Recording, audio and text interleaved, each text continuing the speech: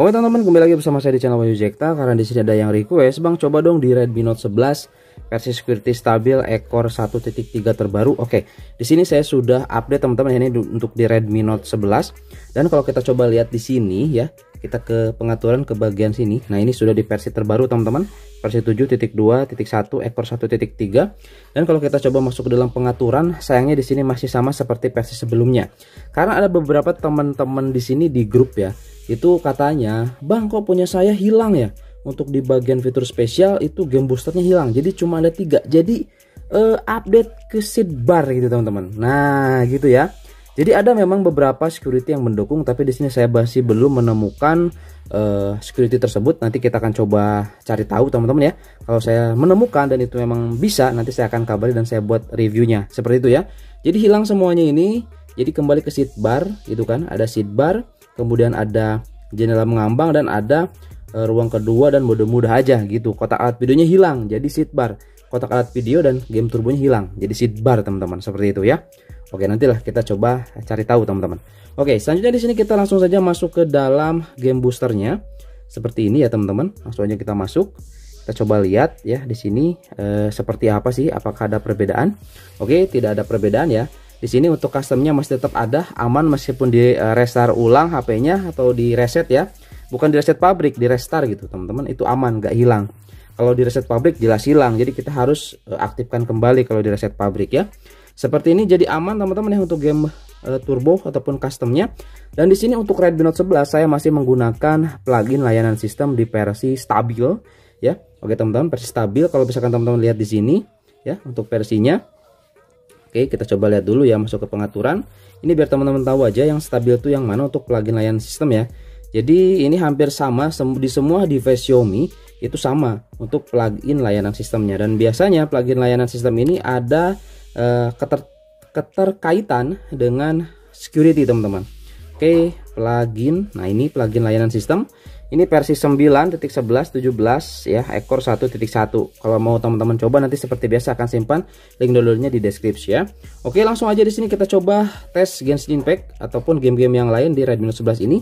Oke uh, mudah-mudahan sih di sini stabil teman-teman jauh lebih stabil daripada versi sebelumnya. Oke langsung aja nanti masuk ke dalam gameplaynya ya. Oke. Oke teman-teman di sini kita sudah masuk di game Genshin Impact ya. Kita coba lihat dulu di sini untuk uh, bila sisinya seperti ini kita coba kasih penerangan. Oke kita kasih brightness yang cukup. Kita coba percepat di sini ya. Dan di sini ada fitur komentar teman-teman. Ya kita coba di Redmi Note 11 dia ada fitur komentar. Beda seperti di Poco X3 Pro dan Poco F3 itu boleh nggak ada hilang. Tapi di sini ada fitur komentar ya. Nah ini seperti ini. Jadi kalau ada SMS atau apa itu nanti akan muncul di sini teman-teman. Gitu ya, berkomentar. Nah, di sini untuk FPS-nya kita dapat di 37 ya kalau kita masuk ke dalam pengaturan coba lihat nih. Kita masuk ke dalam setting apakah dia bisa tembus ke 60 FPS? Ya, bisa tembus sampai ke 60 FPS karena di sini ya hardware-nya di sini teman-teman. Nah, ini sudah versi terendah. Karena di sini hardware-nya jadi menyesuaikan lah ya. Nah, gini performanya seperti ini, menyesuaikan teman-teman. Gitu ya. Oke. Kalau menurut saya sih di Redmi Note 11 Genshin Impact asal cukup bisa main aja udah oke okay lah ya. Karena ya ya uyuhan gitu kan. Kalau bahasa Sunda bilang mah Snapdragon 680 gitu mainin game seperti ini gitu kan. Tuh ya. Ngedrop paling ke 20-an atau ke belasan FPS sih di sini teman-teman ya untuk Genshin Impact. Ya seperti ini ya. Yang pasti di sini ketika masuk ke pengaturan berarti security ini di Redmi Note 11 eh, performanya masih memang nggak di limit gitu teman-teman. Kalau di sini bukan di limit ya ini karena hardware teman-teman. Karena hardwarenya gitu kan gitu. Kalau Snapdragon 700 ke atas mah itu udah kelihatan bisa 60 fps juga. Pas, pas waktu diam seperti ini itu bisa 60 fps gitu ya. Jadi cukup di sini teman-teman untuk Genshin Impact. Kita coba di game selanjutnya ya. Oke. Oke teman-teman di sini saya coba di game uh, Call of Duty Mobile ya. Di sini kita coba uh, kita dapat di 60 fps enak sih di sini teman-teman. Kenapa saya nggak tes di PUBG Mobile? Ya seperti itu teman-teman ya. Kita hanya bisa mainin di 30 fps. Itu nggak asik banget ya. Oke saya udah kaku lagi nih main uh, mode gini ya. Aduh kaku saya teman-teman. Oke jadi yang pasti di sini kita bisa dapat di 40 sampai 50-an 60-an fps teman-teman ya. Jadi di sini enak lah kalau menurut saya. Enak mainnya gitu di Redmi Note 11 enak teman-teman. Harusnya di PUBG itu juga bisa ultra lah minimal lah ya gitu ya bisa ultra lah gitu ini seperti ini ya teman-teman ya. Ini untuk di uh, game COD multiplayer. Wow wow wow wow wow wow wow wow. Haha. triple kill coy.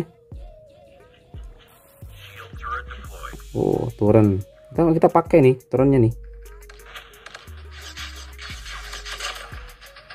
Oke, sip.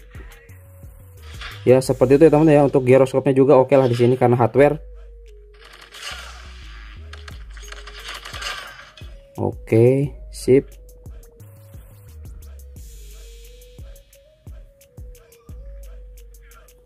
Ya, seperti itu aja mungkin teman-teman ya cukup ya di sini untuk uh, Call of Duty Mobile. Jadi kalau kita coba lihat di pengaturan atau settingannya, di sini kita bisa setting uh, bentar kita coba ya.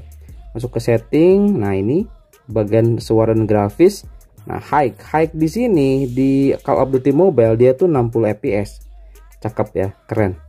Oke kita coba lihat kalau kita gunakan settingan sangat tinggi nggak bisa ya. Oh perubahan. Oh ini kalau kita cuman medium ya. Kita coba aja di sini teman-teman. Kita back. Pakai grafik yang tinggi. Oke bagus.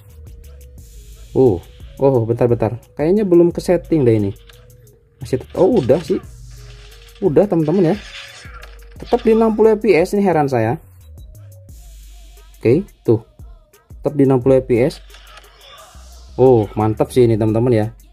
Oke seperti itu aja mungkin teman-teman di sini ya untuk tes uh, game Call of Duty Mobile di Redmi Note 11 kita coba satu game lagi Mobile Legend teman-teman. Kita coba tes ya. Oke Ya oke teman-teman di sini kita sudah masuk di game Mobile Legend ya. Di sini kita bisa dapat FPS di 50 sampai 60 FPS tuh lihat.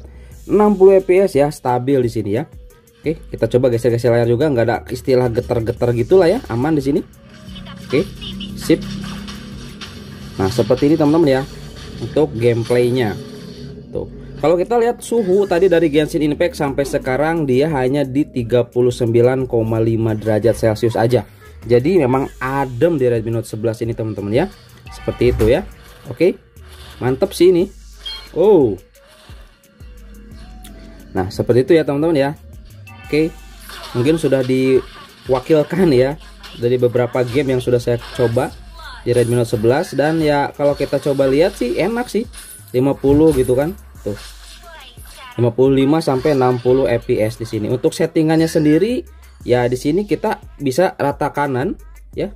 Tuh pakai yang ultra dan ini tinggi teman-teman. Tinggi itu 60 fps di e, Mobile Legend ya. Kalau menurut saya sih ini udah cukup lah. Udah cukup enak gitu ya untuk main gitu. Yang penting 60 fps lah gitu kan. Kalau 30 fps agak kurang nyaman mainnya teman-teman. Lag-lag kayak gitulah kalau 60 fps enak ini. Gitu ya. Masih belum support untuk uh, apa represet super ya ataupun 90 fps masih belum support di sini. Tapi kalau kita akalin bisa sih tembus sampai 90 fps teman-teman. Oke? Jadi seperti itu aja ya teman-teman di sini ya untuk tes uh, security terbaru versi 7.2.1 ekor 1.3 di Redmi Note 11 oke? Jadi mudah-mudahan ini bisa menjadi referensi bagi teman-teman yang ingin coba update ya seperti inilah performanya teman-teman. Seperti itu ya. Oke? Itu aja dan sampai ketemu lagi di video selanjutnya. Mantap